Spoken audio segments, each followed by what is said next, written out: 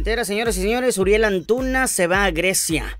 Ventas millonarias del equipo del Cruz Azul. Grecia le abre nuevamente las puertas a Uriel Antuna para poder eh, adquirirlo. Y hay un equipo que le viene siguiendo los pasos desde el año pasado, ¿eh?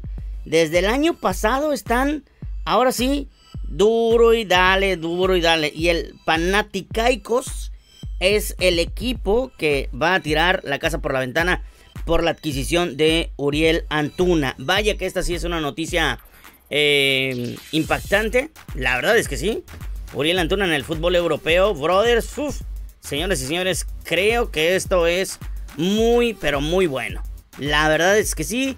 Eh, el conjunto del Cruz Azul va a tener una gran eh, venta. y vaya que esto es muy bueno para la máquina eh, cementera. La verdad es que sí es muy bueno para la máquina celeste. Y pues ahorita lo único que, se necesita es esperar a que tenga una buena campaña en la selección mexicana y con el equipo pues sigue brillando. La verdad es que sí, sigue, sigue brillando el futbolista, está demostrando un gran nivel eh, impresionante eh, porque está demostrando un, pues ahora sí, un gran nivel competitivo, ¿eh? Un gran nivel competitivo. Eso, eso es lo bueno, eso es lo que está llamando mucho la atención. Eh, lo de Uriel Antuna, no es... El crecimiento del jugador desde hace mucho tiempo eh, viene a la alta. Desde hace un buen tiempo. Viene a la alta. Y ha demostrado una gran cantidad de efectividad dentro del terreno de juego que llama mucho la atención que esto hace que el futbolista pues esté en la órbita del Monterrey, que esté en la órbita de algunos equipos de la Liga Mexicana, que y, de Europa y que hoy está en la selección mexicana. O sea, el tipo está creciendo indiscutiblemente hablando es, es un es un nivel competitivo que tiene que hoy gracias a su trabajo pues posiblemente le lleguen esas ofertas y sería interesante verlo. La verdad es que sería interesante verlo ya dentro del terreno de juego en un nivel mucho más amplio del que ha demostrado.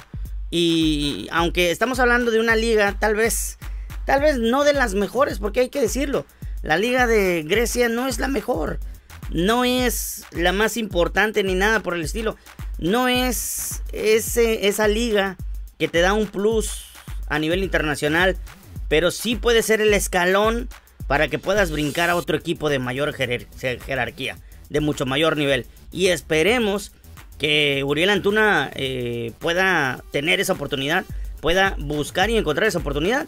Por lo pronto, unos cuantos millones de dólares que le caigan al conjunto del Cruz Azul sería de mucha relevancia y de mucho interés para que el jugador pueda brillar indiscutiblemente hablando. Ahora, el tema de Luciano Acosta, de una vez.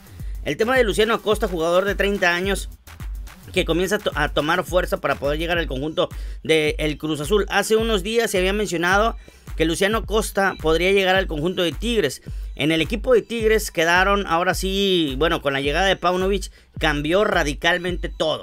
Con la llegada de Paunovic las cosas cambiaron drásticamente y el jugador de ser una de las prioridades, al igual que algunas salidas del equipo de Tigres, hoy con la llegada de Paunovic detuvieron todo y dijeron, hey, tranquilos, vamos a esperar, Vamos, voy a irme a la pretemporada, voy a analizar muy bien qué es lo que está o qué es lo que tiene Tigres.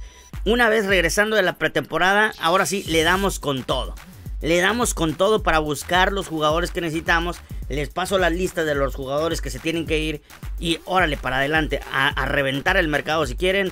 Buscar los jugadores que necesitan. Pero por lo pronto pausen todo. En esas pausas, Iván Alonso y Martín Anselmi han comenzado a mover sus piezas y están muy al pendiente de lo que sucede en la MLS.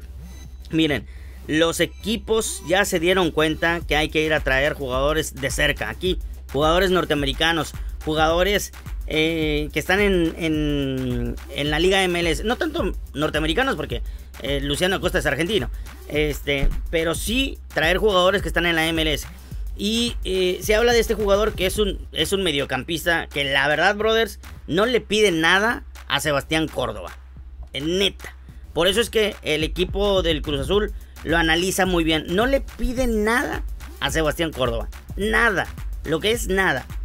Y sus niveles competitivos en tan solo 16 partidos, brother. 7 goles, 9 asistencias, apenas. Apenas. Y no es un centro delantero, ¿eh? 7 goles y 9 asistencias. Y no es un centro delantero. O sea, está participando en 16 goles de lo que lleva precisamente el Cincinnati. De lo que lleva el equipo en estos precisos momentos. Ha participado en 16 goles de lo que lleva hoy en día. Y dice uno, uff, uff, señoras y señores, ¿cómo le está haciendo el Cincinnati? Pues precisamente por, el, por este nivel. Precisamente por este trabajo que se está haciendo. Tiene 31, 30 años de edad. Eh, tiene contrato, eso sí. Tiene un, contrato todavía con el equipo. Así que si lo quieren, pues obviamente que tienen que pagar una buena cantidad de, millones de dólares.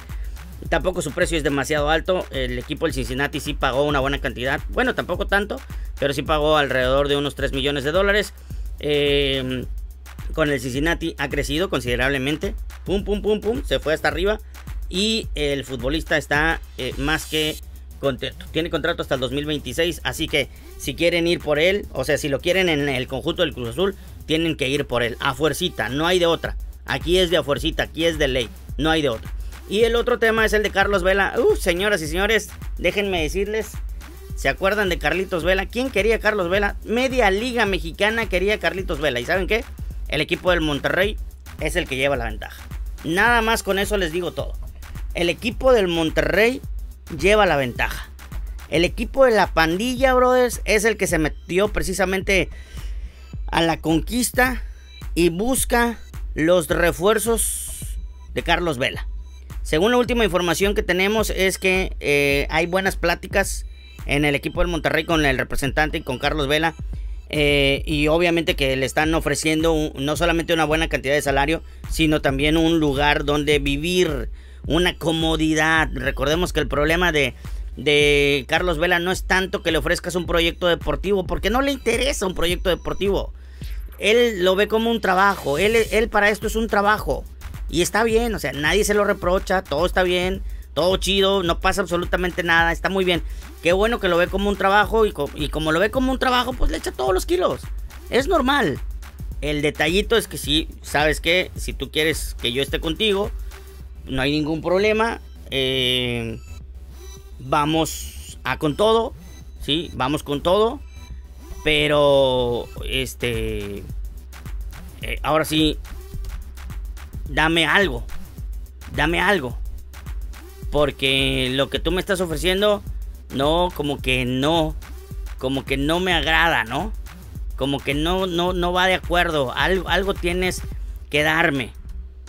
Y pues por eso es que están las pláticas entre eh, este, el Tato Noriega con el representante y eh, pues precisamente con el jugador.